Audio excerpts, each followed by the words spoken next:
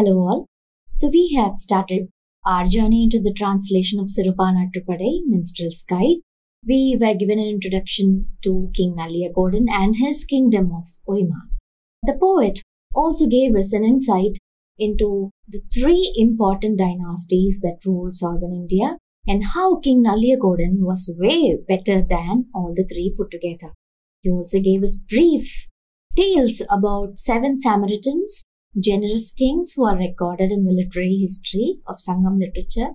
And once again, the poet has told us that Nalliyakodan is much, much better than all seven put together. Now, we have started a journey towards Oimaan Kingdom. We crossed Irpattanam, the seashore town of Oimaan Kingdom.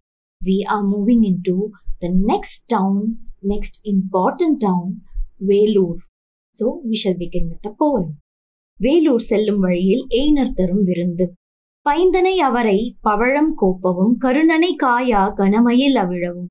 கொழுங்கொடி முசுண்டை கொட்டாங்கொள்ளவும் செழுங்குலை தாக்காந்தல் கைவிரல் பூப்பவும். கொல்லை நெடுவழி கோபம் ஊறவும் முல்லை சான்ற முல்லை அம்புறவின் விடற்கால் அருவிவியன் மலை மூழ்கி. சுடற்கால் மாறிய செல்வி நோக்கி திரள்வேள் நுதியின் பூத்த கேணி. விரல்வேள் வேன்றி வேலூர் எய்தின் உருவெயிர் உலைய உறுப்பு அவிர்குரம்பை ஈற்றவர் அட்ட இன்புழிவெஞ்சோறு தேமாமேனி சில்வளை ஆயமோடு ஆமான் சூட்டின் அமைவர பெருகுவீர் எய்னர் feast on the way to Velur. Greenish beanstalks with coral buds, dusky ironwood bloom like the lustrous neck of peafowls, with leathery blooms thick bindweeds too, also palm-sized scarlet flame lilies strewn. Backyards scattered with blood-red cochineal, neatly spread creepers of lovely thin jasmines, the cascade that falls between the cliffs where the sun sinks in, the husky dusk when you crane your neck up. Will you reach the place with the huge spear-shaped ponds that mark the name of his holy spear, Velur, a place blazing hot, forever summer, ever under thatched huts? Women of the dry land serve piping hot, tangy white rice, delicate like tender mango leaves with slim bangles who serve tender meats of nilgai to ease your hunger, bear the ravenous. So we are entering the town of Velur. There's an interesting story behind the name Velur. King Nalliyakodan, when he took his throne, he started becoming very famous because of his magnanimity and generosity. Naturally, when a person becomes very famous, he will incur a lot of enemies. And Nalliyakodan too had a lot of enemies from his neighboring kingdoms. Once, many of his neighboring kingdoms' rulers joined hands together and launched a sudden attack on Nalliyakodan's Oimaan. Unable to bear the sudden attack, Nalliyakodan had to flee. He took refuge under hiding and he was waiting for a chance to retaliate. But Nalliyakodan was more concerned about subjects because he was very generous, magnanimous. He was more worried about the people. He prayed to Lord Muruga because he was a staunch devotee of Lord Muruga. He asked the Lord to help him so that he can serve his people henceforth as well. As answers to his prayers, Lord Muruga appeared in his dream and he asked Nalliyakodan to take a drench in a pond nearby the next morning. Just as the Lord told him, he took a drench in the pond nearby.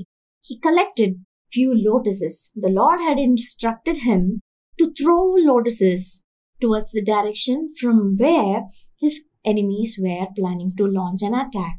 And just as he threw the lotuses towards the direction where his enemy troops were waiting for him, the lotuses turned into Vel or the holy spear of Lord Muruga, and the Vel split itself into several spears and attacked the enemies. The enemies started to flee, thinking Nalliyakodan had lot of backup, and of course, the victory was on his side and Nalliyakodan was very happy that he could serve his people henceforth.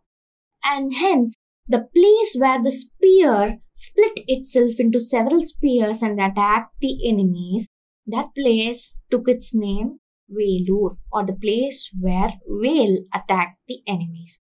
Here the poet says that Velur is a very hot place, but still it has its own special set of plants and animals. Now, the speciality of this particular place is Nilgai, a kind of deer whose meat is savored by the people there.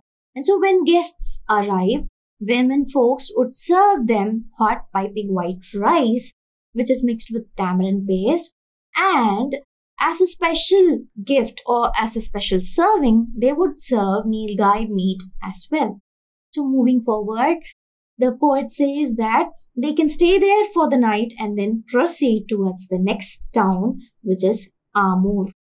Amur வளமும் உளத்தியரின் உபசரிப்பும் நரும்பூங்கோதை தொடுத்த நாட்சினை குறுங்கால் காஞ்சி கொம்பர் ஏறி நிலையரும் குட்டம் நோக்கி நெடிது இருந்து புலவு கையல் எடுத்த பொன்வாய் மணிச்சிறில் வள்ளுகிர் கிழித்த வடுவாள் பாசடை முள்ளரை தாமரை முகிழ்விரி நாட்போது Kongu cover நீல செங்கன் சேவல் மதிசேர் அரவின் மானத் தோற்றும் மருதம் சான்ற மருதன் தன்பனை அந்தனர் அருகா அருங்கடி வியனகர் அம் தன் கிடங்கின் அவன் ஆமூரெய்தின் வலம்பட நடக்கும் வலிப்புணரெருதின் உரன்கிழு நோன் பகட்டு உழவர் தங்கை பிடிக்கை அன்ன பிணிவீழ் சிறு புறத்து தொழிக்கை மகுடு மகமுறை தடுப்ப இருங்கால் உலக்கை இரும்பு முகம் தேய்த்த அவைப்புமான் அரிசி அமலை வெண் சோறு தவைத்தாள் அளவன் கலவையோடு பிகுவீர் the fertile amour and the genial ploughman.